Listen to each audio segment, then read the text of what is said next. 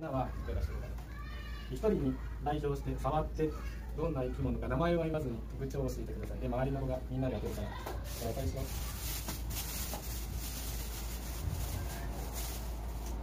大先生にやってもらうとねじゃあこの中に手を入れてどんな感じがするかどんな特徴がある生き物かなってみんなに教えてあげてくれる。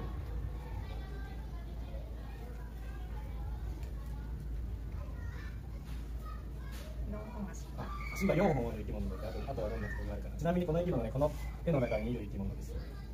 4本足の生き物はどれかな。歯が鋭い。よく分かったすごいね。歯が鋭いと思って生き物だって。これかなって分かったら手挙げて教えて。耳が2つあるだんだん絞れてきてかな。でこれかなと思ったら教えて。はい。